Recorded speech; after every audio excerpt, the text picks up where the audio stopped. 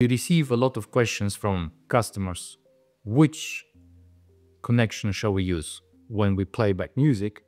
I would say immediately USB is the least preferred one. USB is not designed for audio. USB is designed for compatibility. It's going to give you data integrity, but with a lot of processes that minimizes maximum at which we, we can achieve when we play back music. So USB on its own is a half-baked interface, in my view. Yes, extremely versatile. Yes, you can connect everything. But everything will sound way more mediocre than it could have been. If you want maximum performance, then one needs to look elsewhere.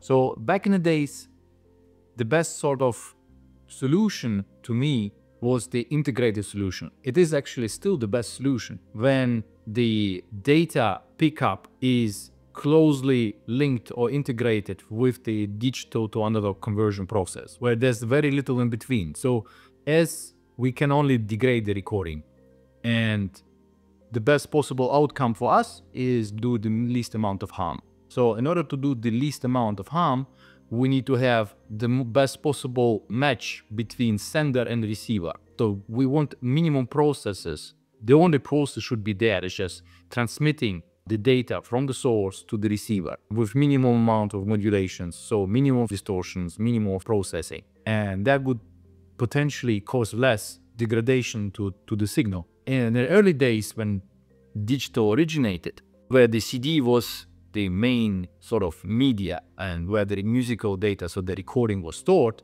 the data would be then transmitted from the CD pickup over I2S to the, to the DAC. The receiver and the sender, they would be closely matched, so there's no impedance mismatch or any, of any kind, and at just a short of distance goes from, from the CD pickup side to the DAC interface, basically. That ensured signal integrity, the most sort of direct sound and that would be the best sort of outcome. And that was the normal practice in the early CD players before the DAC and the CD digital source went into separate chassis. There was less of a problem of basically of signal being transmitted. Once we started separating the digital transport and the DAC side, we needed now a new standard to interconnect the DAC and the, uh, the digital transport. And so Sony and Philips came up with the idea that we have an I2S, so the data, the clock and everything together, let's put it into one signal and they call this the Sony Philips digital interface, so SPDIF. So that SPDIF is essentially all the signal being merged into square wave, which operates on high uh, megahertz frequencies. The professional, the balanced version of SPDIF that's also very well known is called AES EBU. So it's essentially SPDIF, but instead of going over the RCA connectors or RCA phono, it is connected over XLR. If it's done over the interface transformers, it's balanced all the way, even the SPDIF. So on our devices, we have both SPDIF with RCA phono, which is standard, and XLR, which basically are connected in parallel and they are connected over the same an interface transformer. So one can use interchangeably.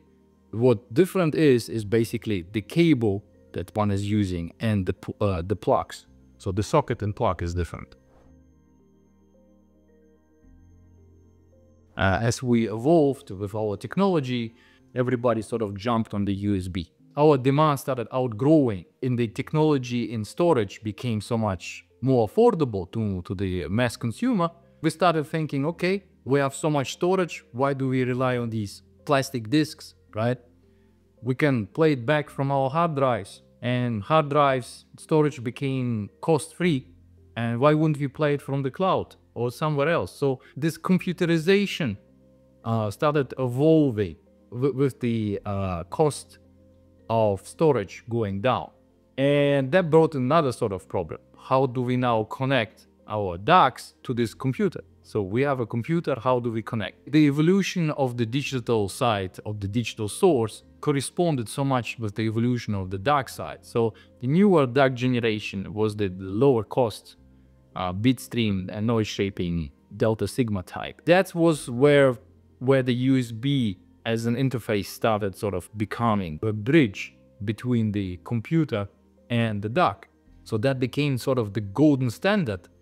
But USB, if you remember what it is, as the name implies, Universal Serial Bus, stemmed from the computer side, not from the DAC side. It's a computer interface and that should be remembered as such. Computers were never, never really created or uh, to be uh, audio playback machines. So it is not really designed for audio purposes. Unnecessary processing in audio, in digital playback, is actually affecting the musicality in a very adverse way. The original CD player, where the processing was at its minimum, led to uh, so much better results in terms of data being streamed to a DAC rather than now the modern computer which had, has all the processing power but virtually no, uh, no specialization in audio.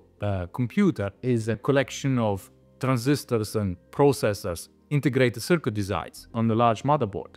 Everything is extremely miniaturized. So getting everything miniaturized is exactly the opposite way of optimizing something for audio materials and components on these compu uh, computer chips, the operating system, how adverse they affect the sound quality. It's not just the processes that are very noisy in nature because of so many transistors, but also the power supplies of these uh, computers are usually low cost and powered by switching mode power supplies. So the hardware of the computer becomes a real problem. Even you have this nice interface now and it's so universal, you can connect any computer, laptop, tablet, whatever you wish. That becomes a serious bottleneck to the sound quality because you're not in charge anymore. What is being connected, which operating system, which software is running.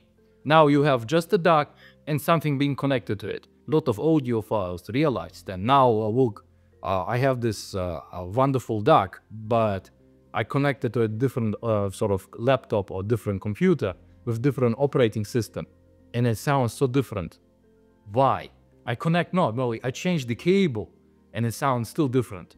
No, what is it? Oh, I changed the power supply. The thing sounds sounds different again. So, well, it's part of the chain. So everything that we have now connected to DAC is going to determine or define the sound quality of that DAC. S2S is the other extreme to sort of USB interface, right? So it's highly specialized, but being highly specialized and with having the upside of having highest potential uh, quality to sound, uh, the downside is that we can't have it long enough and every manufacturer has a slightly different standards. So there's a drift.